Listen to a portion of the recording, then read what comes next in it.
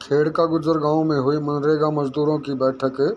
मजदूरों के हितों की योजनाओं व मांगों को लेकर हुई चर्चा। खेड़का गुजर गाँव में मनरेगा मजदूरों की बैठक का आयोजन किया गया। आयोजित बैठक में मनरेगा मजदूरों के हितों, उनकी विभिन्न मांगों को लेकर विस्तृत रूप से चर्चा हुई। बैठक की अध्यक्षता इंटेक के जिला अध्यक्ष सरजीत गुलिया जहांगीरपुर ने की।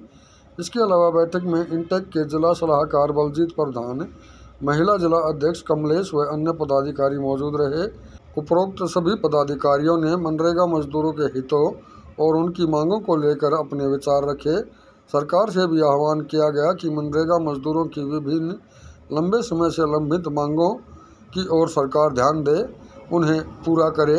सरजीत गुलिया जहांगीरपुर ने कहा कि मनरेगा मजदूर मजदूरी बढ़ाने, काम का समय बढ़ाने, मजदूरों के हितों की विभिन्न योजनाओं को लागू करने जैसी अनेक मांगे पिछले काफ़ी समय से करते आ रहे हैं, उनको पूरा कराने को लेकर आज भी विचार विमर्श किया गया है।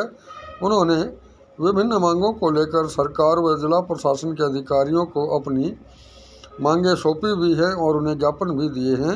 सरजीत गुलिया जहांगीरपुर ने कहा कि बैठक में सभी पदाधिकारियों ने इन्हीं विषयों को लेकर अपने विचार रखे। बैठक के अंदर दर्जनों की संख्या में महिला व पुरुष मनरेगा मजदूर व अन्य मौजूद रहे।